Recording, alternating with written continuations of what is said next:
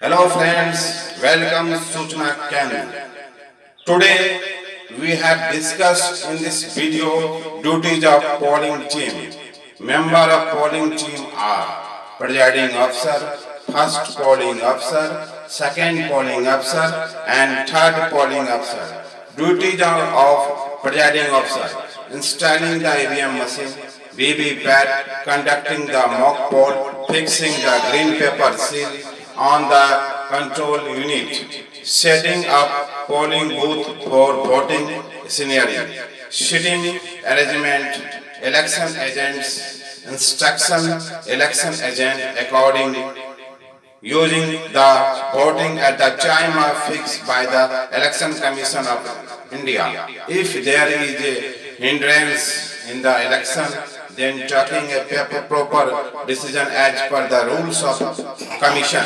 Accordingly, the close of the poll, seating the EVM machine, VVPAT, filling all the forms and sealing at the appropriate place as per the rule deposing EVM, VVPAT and sealing sealed envelopes at receipt center, working as team leader. Duties of first polling officer in charge of the marked copy of the electoral roll. Identification on a elector, male elector diagonally cross line, female elector diagonally cross line tick mark. Speak aloud the name and serial number of elector and send it to second polling officer.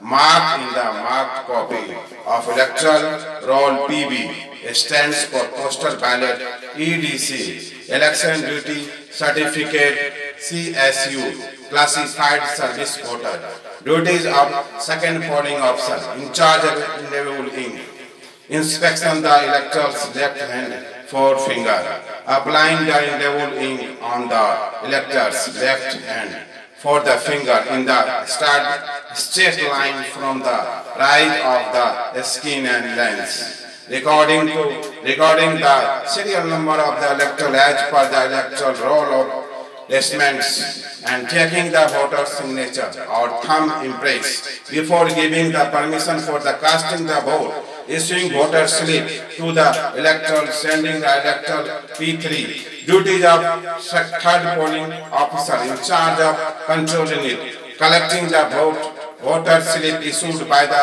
P2, second polling officer, releasing the ballot by the pressing the ballot button of CU. Thank you.